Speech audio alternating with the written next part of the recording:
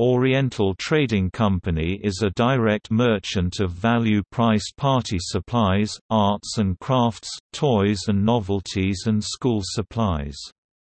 It was founded in 1932 as one of the United States' first wholesaling companies.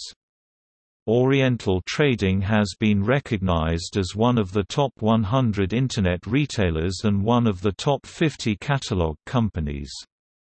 It is based in Omaha, Nebraska, and is owned by Berkshire Hathaway.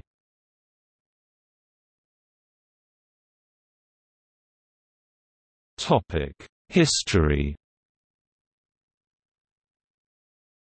The company was founded as a gift shop in 1932 in Omaha, Nebraska by Harry Watanabe. The company expanded to 17 shops in the Midwest. During World War II, with restrictions against imports from Japan, the company shrank back to its Omaha base.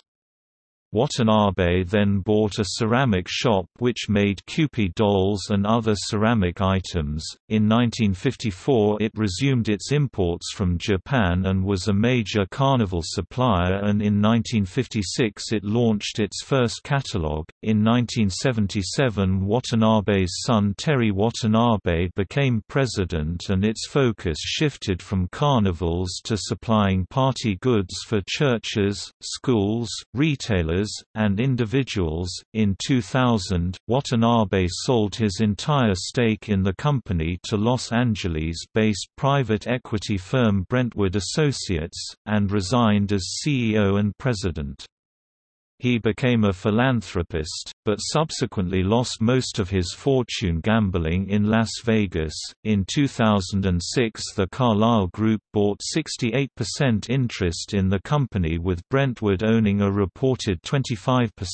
On August 24, 2010, Oriental Trading Company via OTC Holdings Corp. declared Chapter 11 bankruptcy protection. On November 2, 2012, Berkshire Hathaway announced they would acquire the company. Oriental Trading acquired Mindware Holdings, Inc. in 2013 and Smilemakers in 2014. Mindware is a manufacturer, wholesaler, and direct retailer of brainy toys for kids of all ages, such as the game Qwirkle that complements the Oriental Trading family of educational products. Smilemakers is the leading brand catering to the dental and healthcare markets. The company's CEO Sam Taylor appeared in the March 10, 2012, episode of the TV show Undercover Boss.